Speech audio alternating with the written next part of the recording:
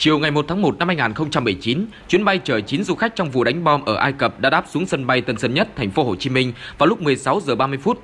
Những du khách này được đưa tới khu vực đặc biệt của sân bay, sau đó lên xe ô tô của Sài Gòn Tourist rời sân bay.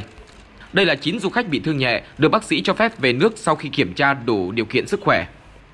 Cái này chúng ta phải thấy là sự cố rủi ro, bất khả kháng.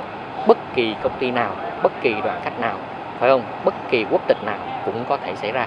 Vấn đề là chúng ta lên án đó những cái hành động khủng bố nhắm vào du khách đồ này kia như thế này.